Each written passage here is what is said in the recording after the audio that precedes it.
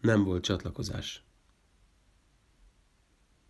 Hat óra késést jeleztek, és a fullatak sötétben hat órát üldögéltem a kocsárdi váróteremben nagy csütörtökön. Testem törött volt, és nehéz a lelkem. Mint ki sötétben titkos útnak indult, végzetes földön csillagok szavára, sors elől szökve.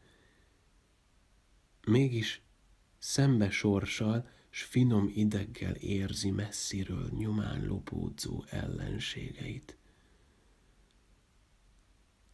Az ablakon túl mozdonyok zörögtek. A sűrű füst, mint roppant denevérszány legyintett arcul. Tompa borzalom fogott el. Mély, állati félelem.